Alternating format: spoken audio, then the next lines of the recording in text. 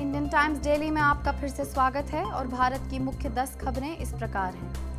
Congress president Rahul Gandhi ने कहा कि गुजरात चुनाव के नतीजे बीजेपी के लिए बहुत बड़ा झटका था।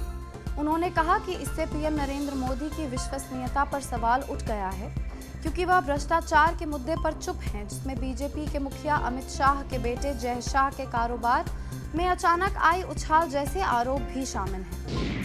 पीएम नरेंद्र मोदी द्वारा लक्षद्वीप और उनके तटीय इलाकों के एक दिवसीय दौरे के बीच तमिलनाडु और केरल ने राहत कार्य और पुनर्वास के लिए 17,500 करोड़ की मांग की है मोदी ने उन परिवार वालों से मदद का वादा किया है जिनके घर वाले साइक्लोन ओखी के आने के बाद से गायब हैं। हिमाचल प्रदेश का मुख्यमंत्री चुने जाने की अनिश्चितता जारी है और एमएलए जयराम ठाकुर और केंद्रीय मंत्री जेपी नड्डा सहित पाँच नाम सामने आए हैं मुख्यमंत्री के हारे हुए उम्मीदवार प्रेम कुमार धूमल के नाम पर भी विचार हो सकता है। प्रधानमंत्री नरेंद्र मोदी द्वारा पूर्व प्रधानमंत्री मनमोहन सिंह पर यह आरोप लगाए जाने पर कि गुजरात विधानसभा चुनाव के लिए उन्होंने पाकिस्तान के साथ मिलकर साजिश रची है। मंगलवार को भी लोकसभा का काम ठप रहा। कांग्रेस सांसद नारा लगाते हुए संसद से बाहर चले गए।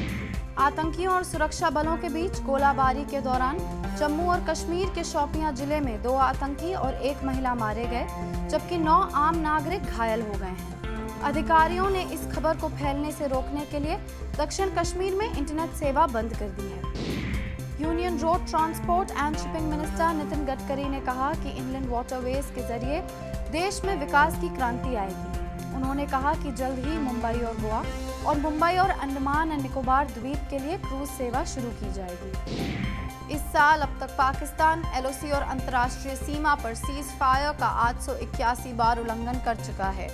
इन सीज फायर उल्लंघन में 12 नागरिक, सेना के 14 जवान और बीएसएफ के चार जवान मारे गए। महाराष्ट्र सरकार ने एक नोटिस जारी करके कहा है कि अब से राज्य में दुकानें और संस्थानें 24 घंटे खुली रहेंगी।